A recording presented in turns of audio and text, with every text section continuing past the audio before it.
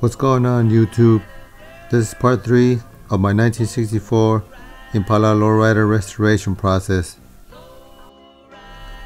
So at this point, the car's been back from being sandblasted and also got epoxy primered. There as you can see under the dash, it's still untreated. Reason being is the shop owner told me that they're going to still do a, a good amount of work under the dash, so eventually that'll get attended to a quick look at the floorboards and there you see the underside of the roof. Here's a common area where you tend to get a lot of rust damage. I'll go over that in a little bit. And here's a look at the trunk pan. It's gonna need some work as well as you can see by the rust damage. So here's a few still pictures of the passenger side of the car. As you can see work is being done of course, it is a slow process, as it is with any cars of this age. But it's coming along. Another look at the trunk pan. Here's a rear view of the car. There you can kind of see some significant rust damage around the bumper section. Here's overhead view of the top of the roof in my opinion, it's in pretty good shape, other than some common rust spots alongside the roof rails and the quarter panel area. Another look at the rear floorboards. From what I saw, they seem to be in excellent condition. As well as the ones in the front, they might not even need any kind of repair work. Here's a few pictures of the driver's side of the car basically more of the same.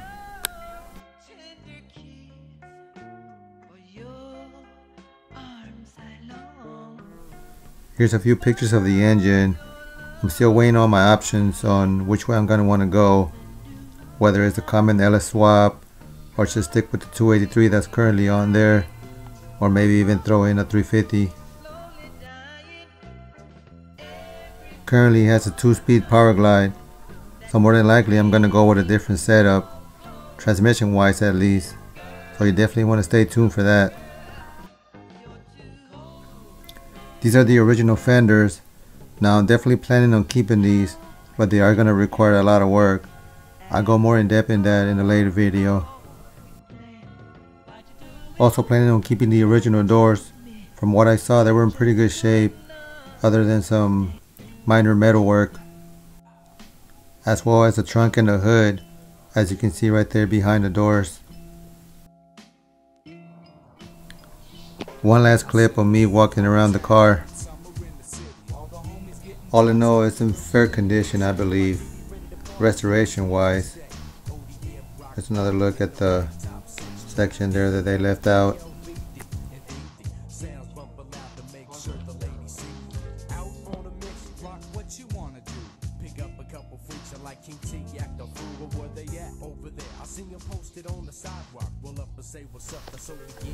Closer look at the passenger side quarter panel. It's hard to tell, but there's quite a few dents and metalwork to be patched up. Here's a closer look at the rust damage that commonly happens between the quarter panel and the roof section.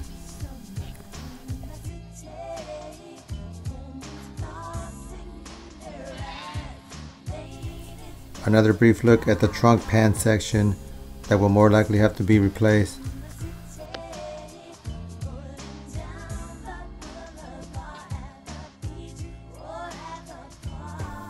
A much closer look at the rear bumper area.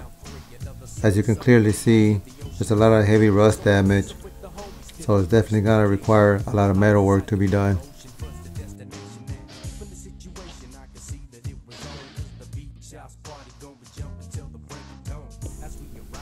Hard to tell also, but the driver's side quarter panel also has a few dents and dings, similar to the passenger side.